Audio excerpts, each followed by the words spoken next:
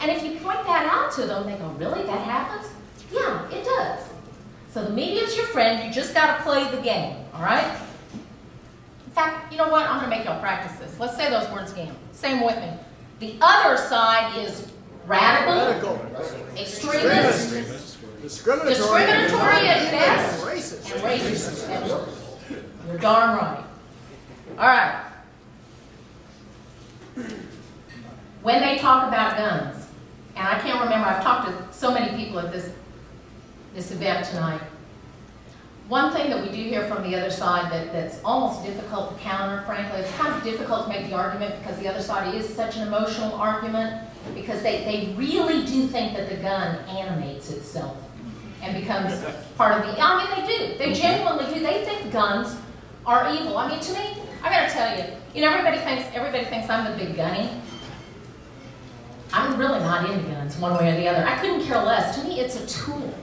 It's to, honest to God, to me, it is no different than a chainsaw.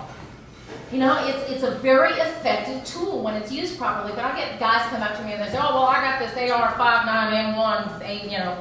I don't have a clue what y'all are talking about, guys. I genuinely don't. I don't know. I, I don't care. I support your right to carry whatever you want to carry. I don't care. But the fact of the matter is, it does boil down to that basic right. And when these little media people or any of your friends out there think that it's the gun, point this out to them. Let's think about this for a few minutes. Since 91, these, these dreadful shootings have been occurring with kind of frightening regularity, yes? Think about where they've occurred. Okay, they've, they've occurred at Columbine. Oh, wait a minute, that couldn't happen because guns aren't allowed in schools. Let's see, they occurred at a Jewish daycare center. Oh, no, no, no, wait, no, that couldn't happen because uh, guns are not allowed at the daycare center. Oh, post office, whoop. No, post offices that couldn't be there because they're not allowed there. Oh, universities. By the way, I've tried to pass a bill several times that would allow it at universities, and everybody thought I was crazy back then. Now the feds are talking about it. Couldn't happen at universities. Guns aren't allowed there. If guns are the problem, then explain to me why these things don't happen at places where there are thousands of guns in the hands of at least hundreds of law-abiding citizens like here, or at the dreaded gun show, or at NRA conventions. Why don't those things happen there?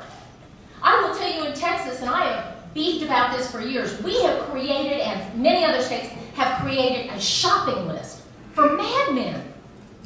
I don't even like going to those places anymore because all I know is it takes one crazy. And they said, well, you know, somebody in there with a gun or, or a handful of people in here with guns isn't going to keep somebody from coming in and shooting people because he'll have the element of surprise. You know what? They're right. But whoever comes in and does that, they're going to get how many people? Maybe two, maybe three? They sure as heck aren't going to kill 30 people in here Right. before they've got about 30 holes in them. Am I right? It doesn't fix it all, but there's also that huge deterrent factor because people that do that sort of thing, what are they looking for? They're, they're looking they're looking for a big body bag count. Going to go to those places. They're not going to come in here. They're not going to go to the gun show. They're not going to go to the NRA convention. With, without exception, they have gone to the places where they know they can shoot people like fish in a barrel. Now I bet you there's, I'm gonna pick on the women here for a minute. I bet you there there's a few women in here. Maybe maybe some of you guys have girlfriends or wives at home that didn't even want to come tonight. And if you do, I just want you to tell them this. Share this with them if you could. I want you to try to tell them about being in a cafeteria with their family. Now, see, things have changed for me because I'm married now and have two children. I have a 12-year-old and a 9-year-old. Imagine, if you will, as you speak to your wife or girlfriend, imagine being in that same scenario, honey, with your two-year-old and three-year-old behind you. And as the gunman's walking around, no remorse, black eyes, you can't reason with this person. And as that gunman is leveling his weapon on your two-year-old's forehead, even if you've chosen not to have a gun, don't you, don't you hope that the guy behind you has one and knows how to use it at that point? I gotta tell you, when I think about that with my kids now, I get physically ill when I, when I think about being in that scenario with no opportunity, no chance to protect myself and my children.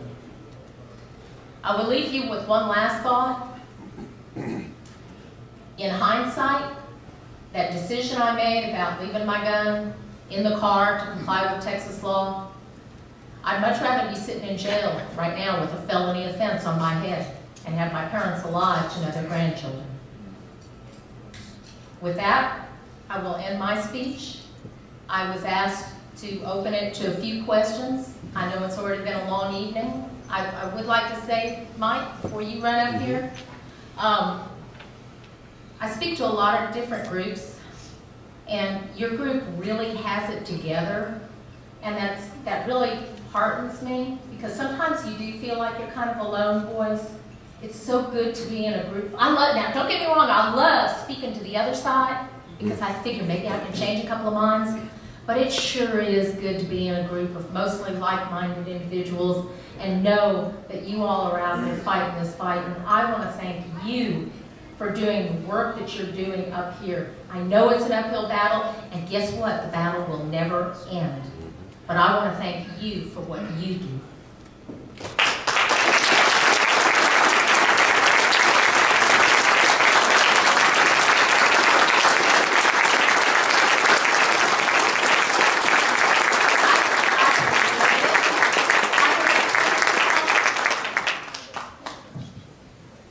Questions?